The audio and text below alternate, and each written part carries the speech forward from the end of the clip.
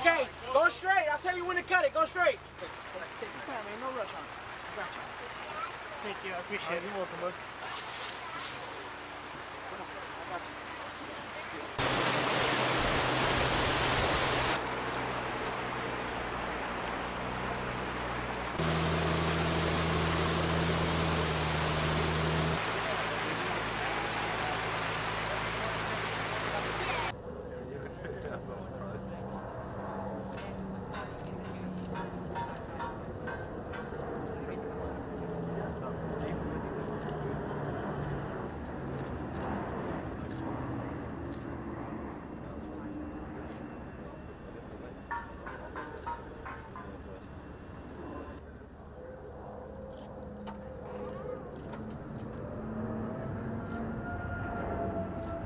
So our study examined a climate intervention technique called stratospheric aerosol injection, which is an idea to cool down the planet by adding a layer of small reflective particles, or aerosols, into the high atmosphere.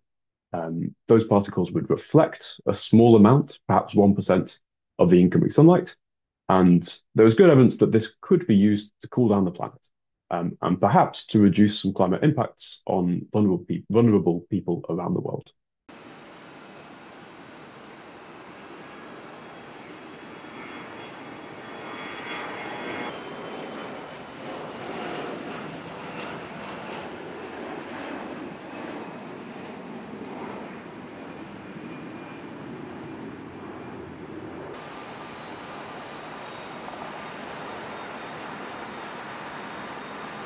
What we were interested in is understanding the trade-off between the, the difficulty, the logistical challenge of doing this, and the climate impacts on the ground.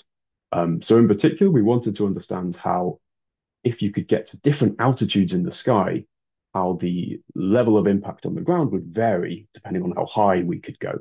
Um, in general, it's harder to do this at higher altitude. Um, so our kind of central finding was that if we were limited to using existing large aircraft and, and therefore limited to altitudes of up to around 13 kilometers, we find that there are still meaningful climate impacts. We could still cool the planet um, meaningfully with, with plausible injection magnitudes uh, of aerosols.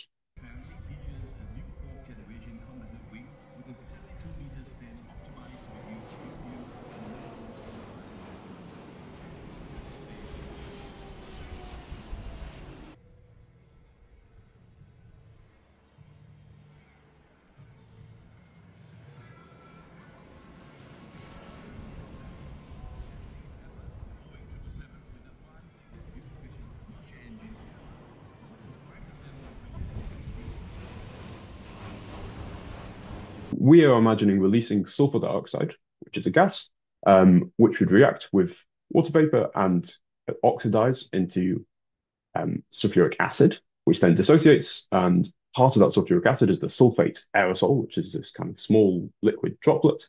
Um, and they tend to produce a size distribution in the stratosphere, which uh, makes them good reflectors of sunlight. Um, those sulfate aerosols then kind of slowly sediment downwards through the stratosphere. Um, and ultimately, once they re-enter the troposphere, the, the part of the atmosphere we live in, most of them rain out. So they come out in, in water uh, as acid rain, essentially.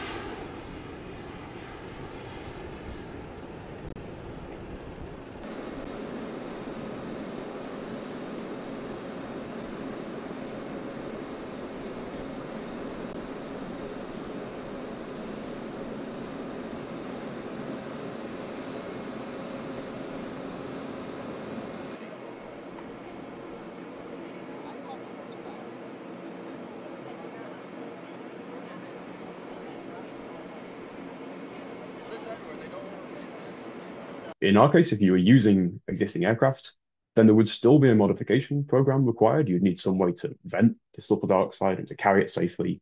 It's a toxic gas, right? If, if you release this at ground level, it could be quite harmful. Um, so there are definitely big engineering challenges, but they would be less intensive than the higher altitude deployment.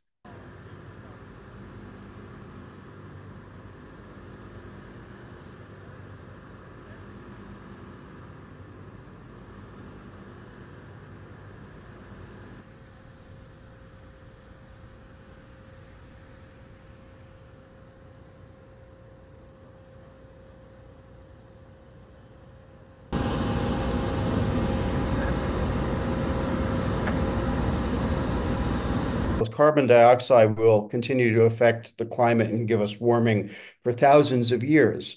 But the stratospheric aerosols fall out in a matter of a year or so. And so if you if you get into a situation where you rely on it, where you rely on stratospheric aerosol injection, you're really locking humanity into doing it without fail for for centuries at least. Uh, and that's a very perilous situation to be in. And if you do it at a time when we haven't yet reached net zero, then you have to do more of it each and every year. And if you ever stop, you get hit in the face with massive catastrophic warming very quickly.